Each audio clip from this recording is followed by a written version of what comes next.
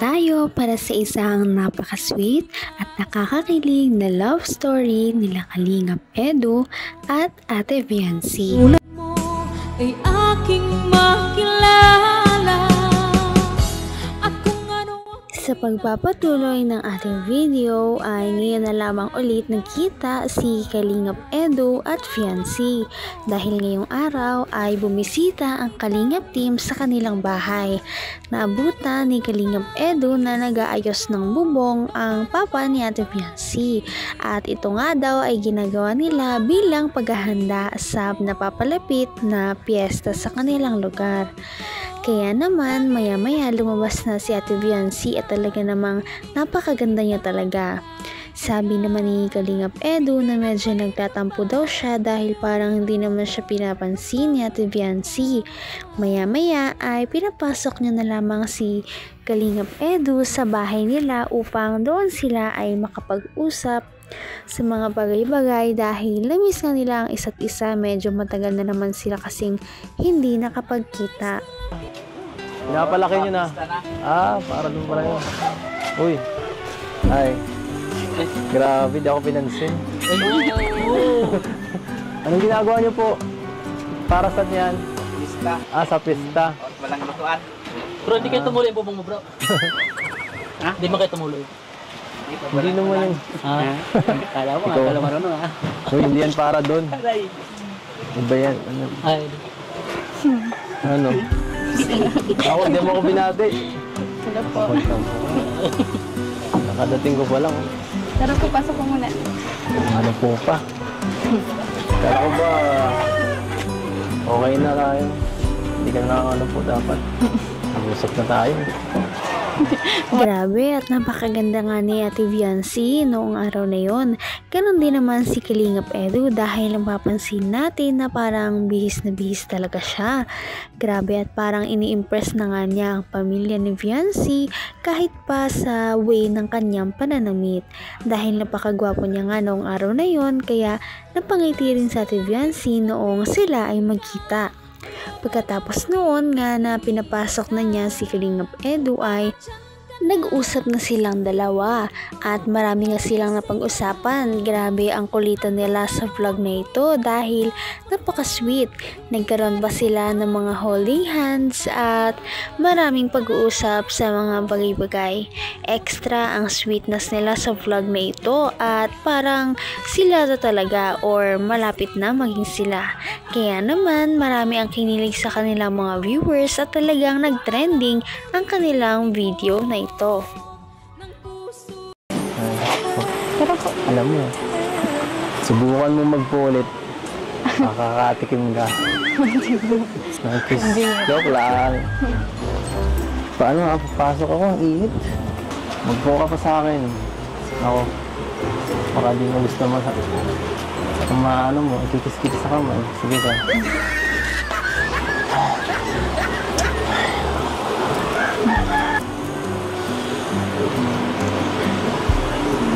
Hindi ba? Gusto niyo pang tubig? Ha? Tubig po. Gusto ko. Hindi, kahit di na. Okay lang ako. Diyan ka lang. Ano? Ang ginagawa mo ngayon? Wala. Hinintay mo ako, ganun. Alam mo naman darating ako. So, ano? Parang di ka naghanda. Kilig na kilig ang mga viewers dahil sa mga ginagawa ni Kalingap Edu. Talaga namang parang inaasar niya si Ate Viancy porket alam niya na hindi may iwasan ni Ate Viancy na mag-post sa kanya dahil magalang ang bata si Viancy at medyo mahiyain.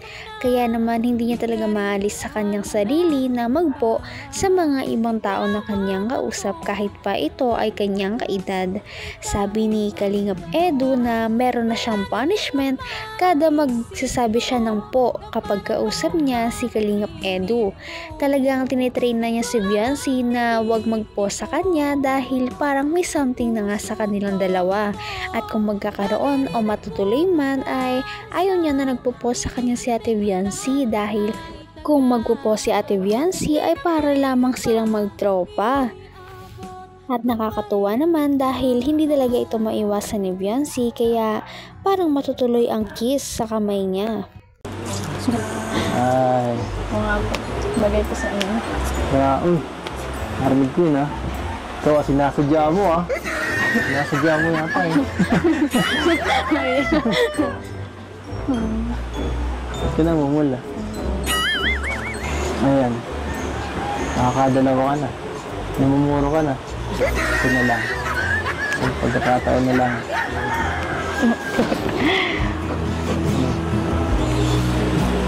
Saka pala, ano nga sabi mo kanina? Bagay. Bagay ho sa inyo yung suot. Umpo ka na naman. Ay, sige. Papalampasin ko muna yan ngayon ah. Ay, ikaw talaga. Bagay sa akin ang suot ko. Hmm. Kitang-kita sa mga mukha ni Ate Viancy na talaga namang kinakabahan siya sa pag-kiss sa kanya ni Kalingap Edu. Dapat nga ito talaga ay kiss, ngunit sabi naman ni Kalingap Edu na sa kamay na lamang daw dahil nagbibiro lamang ito. Parang enjoy na enjoy talaga siya na asarin si Ate Viancy. Parang ito talaga ang mga steps na ginagawa ng mga lalaki ang mga asar kapag gusto nila ang isang babae. Kaya naman kinilig ang mga viewers sa kanilang mga ginagawa.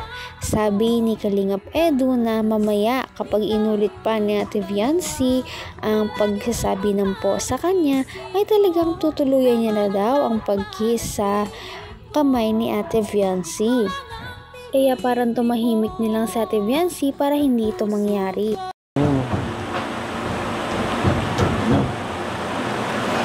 ano yung tingin na yan? Ay. So, ano? Pinagkakabala mo dito. Kanina po, ano, nagpunta po kami Sa? sa Pablo po ng Angel sa school po. Hmm, sinama mo mag-enroll. Saan ka nag saan nag-enroll? Si Angel. Nakuha po sa ng card ma-transfer po. transfer. Hindi ko nawala po. Hindi ko alam. Ano? Bakit mo kasi may Talagang po mo ako. Sige ka. Hindi ko ito bibitawan. At Hindi ka nasasanay. Ang walang sa akin. Sige po. Ito ah. Sinasadya mo yan ah. Hindi na, hindi na po. Binitawan na nga ni Kalingap Edu pansamantala ang kamay ni Ate Viancy. Ngunit nung nagkwento naman si Ate Viancy tungkol sa pag enroll daw ni Angel school ay hindi na naman sinasadya na nakapagsabi na naman siya ng po. Kaya naman hinawakan na ni Kalingap Edu ng mahigpit ang kamay ni Ate Viancy at talaga namang kinilig si Ate Viancy dahil dito. Sabi niya ay hindi na daw siya makapag-focus at hindi niya na daw alam mga sasabihin kay Kalingap Edu dahil kada sabi niya ay hindi niya talaga sinasadya na masasabi niya talaga ang po. Hindi talaga ito madali alisin kay Ate Viancy dahil ito na nga ang nakasanayan niya sa pag-uusap nila ni Kalingap Edu sa araw-araw. Okay lang. Sige, hindi. Sige, Hindi na. Okay na. Okay na lang kahit mo ganito kahit walang po. Hindi ba? Hmm. Dapat sa mga 5 minutes try natin na hindi ka magpupo sa akin habang naka-holding hands. Ano, okay ba yun? Pabor, no? Bakit mo ko tinatawanan? Hmm, siya nga pala, kumusta yung pagmumotor mo? Marunong ka na? Hindi, nakita-kita ka namin kanina, nakamotor ah. Yung pinsan ko po yun. Ah, kala ko kung sino. Yan ah, nagpo ka na naman kan ngayon lang. Dahil dyan mag-penalty ka. Another one minute. Lang talaga. Nagap pa kami ano. Hindi po. Nagpapawis ang kamay mo. Nawakan niyo po ay. Sige na, hindi, hindi na po. Ang punishment nga na ito ni Ate Viancy ay talaga namang nag-level up dahil sabi ni Kalingap Edu na hindi niya na daw i-kiss ang ni Ate Viancy. Ngunit ito daw ay i-holding hands niya na lamang. Kaya naman nanatili ang dalawa na magka-holding hands ng ilang minuto habang nag-uusap. Talagang gusto na nga ni Ate Biancy na kumalas ngunit hindi talaga siya makapalag kay Kalingap Edu dahil talaga namang inaasar talaga siya nito dahil kasalanan niya naman daw iyon na nagpopo daw siya. Ito naman ay ginagawa ni Kalingap Edu para naman mas maging komportable na talaga sila sa isa't isa at hindi na sila magkakaroon ng ano pang ilangan habang sila ay nag-uusap. Kaya naman tunghayan natin ang iba pang surprise sa ating next na video. Kaya naman, sana ipatuloy natin silang suportahan at mahalin si Viancy, si Kalingap Edu at ang Kalingap Team. Yun lamang at maraming salamat sa panonood. Abangan natin kung magkakatuluyan ba talaga si Kalingap Edu at Fiancé. Hanggang sa muli. Bye! Ngayon'y abot